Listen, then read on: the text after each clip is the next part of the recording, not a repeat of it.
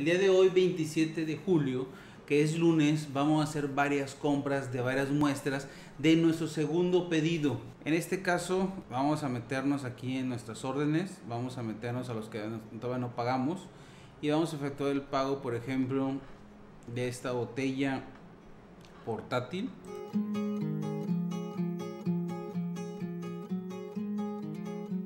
Vamos a agregar el método de pago.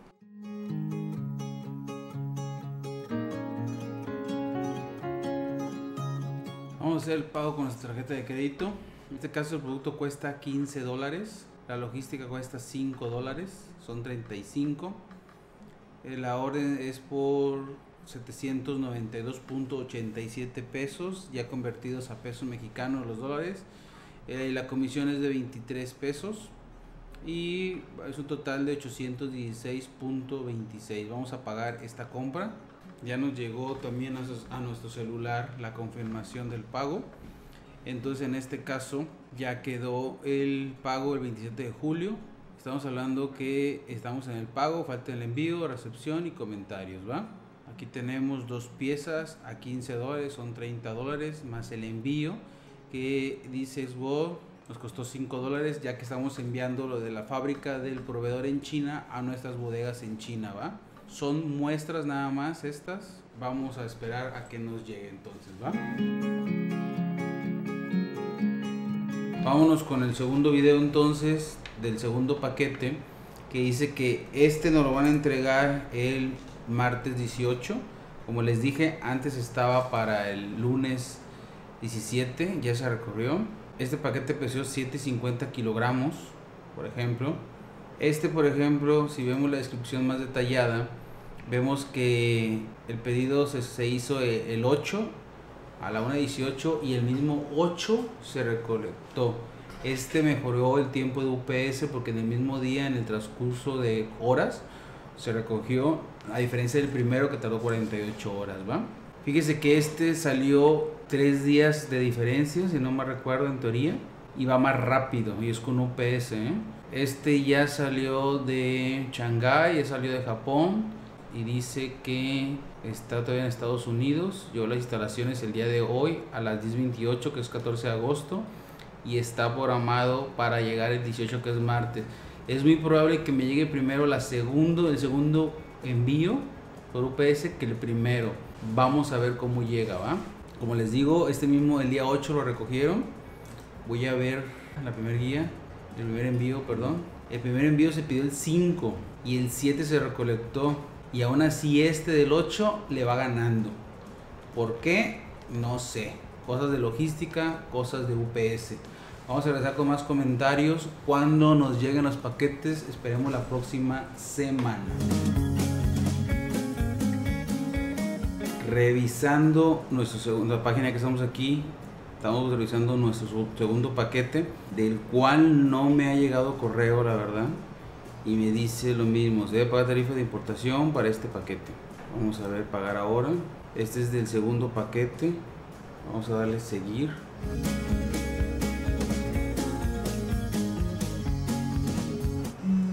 En este momento me llegó una alerta a mi celular que ya quedó el segundo pago, imprimir recibo, vamos a guardar como PDF también este. Aquí está el segundo pago que hemos hecho del segundo envío que compramos en Alibaba, que son 11 muestras si no me recuerdo, 12, ya no me acuerdo. Eso pago el mismo día, entonces es el 17 de agosto. Partido de instalaciones, el Trabajo de Zúñiga a la 17, se adeudan los cargos de importación para este paquete, se va a pagar ahora, ya se ha pagado facturado los cargos el mismo día, hay que estar al pendiente de esto, vamos a ver qué sigue entonces del segundo paquete y cuándo nos estaría llegando. revisar la segunda guía. La segunda guía también dice que se va a entregar el día de hoy. Entrega programada para el martes 18, antes del final del día. Vamos a irnos a la descripción detallada. Como pueden ver, llegó a México el 17. Llegó a México. Estados Unidos estaba el mismo 17, pero el 17 a las 7.26 de la mañana llegó a México, a Tlajomulco de Zúñiga. De 7.26 a las 11.31 pasó el scan de importación y el, eh, a la 1.15 del 17, que fue lunes, dice que el destinatario debe pagar los aranceles e impuestos. Salió el proceso de, de Zúñiga de México, salió de las instalaciones. Los cargos de importación están pendientes en este envío. Llegó a las instalaciones en Guadalajara ayer a la 1.30. Yo pagué a las 6 y media de la tarde de ayer lunes eh, se han pagado o facturado los cargos de pago contra entrega de importación. El día ayer a las casi 12 de la noche salió de Guadalajara, de estaciones de Guadalajara. Llegó a las 4 de la mañana del día 18 martes a Manzanillo y a las 8.45, casi 9 del 18 que es martes, salió de UPS para la entrega, afuera para la entrega y me van me van a entregar en el transcurso del día. Vamos a irnos entonces ahora a la facturación. En el link que nos dieron ya le pusimos la segunda guía, nuestro RFC, la fecha me pone automático, el monto también. Le damos enviar datos. SG internacional, se me guardaron los datos, eso es bueno. El correo lo puedo cambiar si quiero. Por ejemplo, en este caso no lo voy a cambiar todavía. Forma de pago sí, tengo que tener cuidado porque lo pagué con tarjeta de crédito. Adquisición de mercancías y le vamos a dar enviar datos. Le vamos a dar generar factura. Ahí se está generando la factura. Voy a descargar el pdf voy a descargar el xml les invito a que descarguen de una vez en su momento. Ya te dice factura tu ticket y posiblemente me llegue esta factura y ese XML a mi correo sin necesidad de bajarlo, pero yo lo quise bajar porque ya me llegó el de la primera compra. Y así de simple, así de simple como les digo, ya me llegó ahorita el correo, no sé si escucharon el, la campana que tenemos, porque estamos grabando en una máquina y aparte tengo mi laptop, que esta laptop no es la que transmite, esta laptop es la que yo veo o me apoyo a veces para mis apuntes, digamos. Entonces ahí veo mi correo, ya me llegó la segunda factura también de UPS con su XML, independientemente que lo haya rescatado. Como ven, llegó en chinga yo recomiendo UPS porque me gusta lo automatizado. Y se fijan aquí, yo traje una mercancía, traje unos productos que van a ver más adelante, que les dimos una fracción arancelaria, son muestras, son una o dos piezas y no hubo problema para la importación. No me dieron la opción de, de escoger pedimento global o pedimento personalizado. Voy a mandar un correo a mi asesor, quiero que me llegue la paquetería para ver cómo me llega y decirle, oye, aquí está el impuesto, aquí está todo, pero ¿hiciste pedimento o cómo me lo das? Me a decir, no, que lo hicimos por medio de la paquetería, no ocupas agente banal, así que por eso no te hice pedimento. Voy a ver cómo lo hicieron para ver si me pueden dar una copia del pedimento, porque me interesa ver qué fracciones arancelarias asignaron ellos, porque yo tengo unas fracciones arancelarias que asigné para saber que no me lo detuvieran. Quiero ver si usaron la misma u otras, ¿va? Bienvenidos importadores, el día de hoy vamos a abrir nuestro segundo paquete, la cual mi camarógrafa estrella me va a enfocar aquí abajo. Aquí tienen el paquete, es el segundo paquete que nos llegó. Este paquete, como pueden ver, llegó en buen estado. Está manejando, aquí está un golpe nada más, muy leve, trae cinta, trae etiqueta que te está marcando los impuestos, te está marcando los honorarios de UPS. Vamos a ver entonces también aquí que viene un documento en la caja que viene siendo la guía que nos mandan y nos mandan dos copias de la factura de hecho vienen tres, creo que se quedan una a ellos de repente, son 7 kilos y medio con un valor de 123 dólares este documento se lo vamos a escanear y se lo vamos a poner más legible para que vean transparencia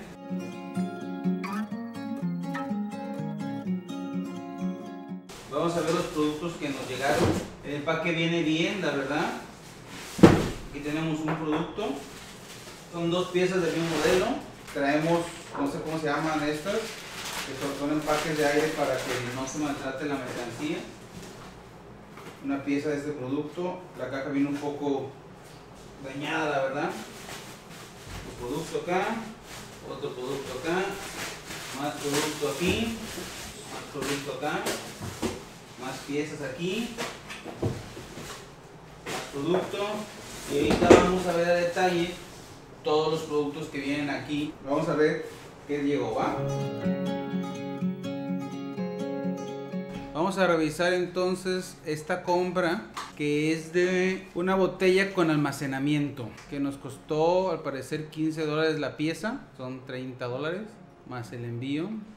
Son dos botellas de almacenamiento que nos llegaron. Vamos a abrirlas.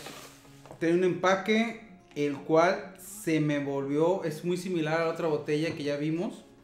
Trae un pequeño empaque que al parecer va aquí para que no se derrame el agua al momento de ladear, yo creo. Pero al abrir se me cayó, ya se cerró otra vez ahí. No sé si a lo mejor no venía bien puesto y con la presión ya, ya no se cae. No, si se cae. Ya van dos veces que se cae. Este producto es muy económico, la verdad. Yo no lo recomendaría. Trae para almacenar un pequeño hueco. Puedes almacenar aquí unas llaves, dinero, por ejemplo. Aquí hay una imagen que en esta parte se puede guardar ahí, como pueden ver, una llave, IFE, dinero. En esta parte trae como un clip. El material es muy corriente, la verdad. No tengo otra palabra para describirlo. Yo no recomendaría comercializarlo, francamente. Se me hace una basura de producto, pero cada quien puede comercializar lo que quiere. Son muestras. La verdad, en la foto se ve de mejor calidad que lo que está llegando, francamente. Pero al final se lo dejo a su discreción. Vamos a abrir el segundo bote. Este es de color rojo. Se ve más llamativo, la verdad, que el primero. Voy a abrirlo para ver qué pasa con la valvulita. Esta válvula no se cayó. Ya es ganancia. Entonces, francamente, voy a hacer la prueba de, del alcohol. Se me cayó, digo, digo, lo tiré, perdón. Lo tiré para ver qué pasa si voy corriendo y, y se me cae o no sé. Pues no se quebró. Voy a hacer un segundo intento pues sí aguanta los golpes, la verdad, al menos. Claro, no trae agua, ya con agua y peso, posiblemente también este, ya sea otro show. Trae unas, unos sujetadores de plástico, los cuales aguantaron el golpe, no se quebraron. Pero aún así yo no recomiendo este producto, la verdad. Ahora vamos a ir con la terminación del segundo paquete, vamos a ver detalles. Este también se entregó el 18, pero este se entregó el día 8, son 10 días. A diferencia del otro envío, del primer envío, este envío llegó el mismo día y duró 10 días. En realidad, este vía aérea debe ser de 7 a 15 días un rango razonable si no tienes problema. Nosotros rastreamos siempre la guía. Aquí les estoy dando, usen la tecnología. De hecho, nosotros lo rastreamos siempre en la oficina no hemos hecho, no hemos bajado la aplicación de UPS al celular. La verdad no nos interesa, a mí no me interesan esas, notificaciones. Eh, yo me la paso mucho tiempo en la oficina, viendo correos, viendo cosas, se me hace más fácil estar revisando mis pendientes. Pero, y creo que la aplicación de UPS para móviles es más, como que te envía notificaciones, creo que es más fácil para ustedes de repente que andan corriendo. Pero aquí está todo detallado. Es la segunda compra que hicimos vía aérea de muestras. Y en esta compra, de hecho, venía un producto que posiblemente no pasaba, que era el hub. Y aún así pasó, pero fue una pieza y fueron muestras. La verdad, no creemos mandar mucha mercancía vía aérea ahorita porque los costos están muy caros. Nosotros vamos a hacer los primeros envíos ya vía marítima y les vamos a compartir cómo es el proceso también vía marítima. Ese es proceso vía aérea y no tuvimos ningún problema con UPS. Vamos a intentar hacer compras mayores, ahora sí, ya no de muestras, para que vean cómo es el proceso, porque aquí el proceso fue con pedimento global no fue con pedimento exclusivo y están por mandarme el pedimento global para esta operación. Vamos a hacer entonces la culminación de nuestras segundas compras que fueron una segunda guía de UPS con nuestra compra de las segundas muestras que trajimos vía aérea. Entonces en este caso aquí está la guía de nuestro segundo paquete, que esta venía impresa en el paquete. Te lo mostramos porque la verdad no tengo ningún problema con los datos, me vale, o sea, no tengo ningún problema. Eh, la guía ya llegó, entonces la verdad no me la pueden robar, que digamos. Entonces, esta es la guía con la que venía pegada en la caja.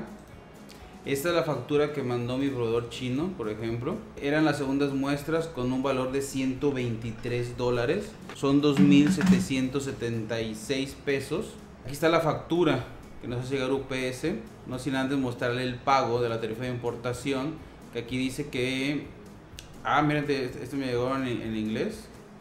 Son 522. Si multiplico 2.776 por punto 19 me va a dar 527, que son los 522.